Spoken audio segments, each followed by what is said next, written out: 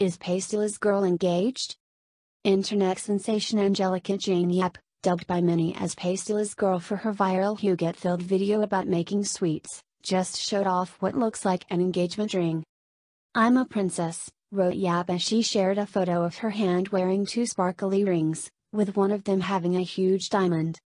In another post, Yap wrote, Dream ring from my dream guy. Enzo Gallegos, the man she was talking about in her Hugot filled video, is typed in the photo. She did not give further details. Yap and Gallegos reunited in February 2017, two years since he appeared on the ABS CBN noontime program It's Showtime to apologize to her. He made a reference to the hit movie My Ex and Whys starring Liza Soberano and Enrique Gil, saying that Yap is irreplaceable. Is Pastillas girl engaged?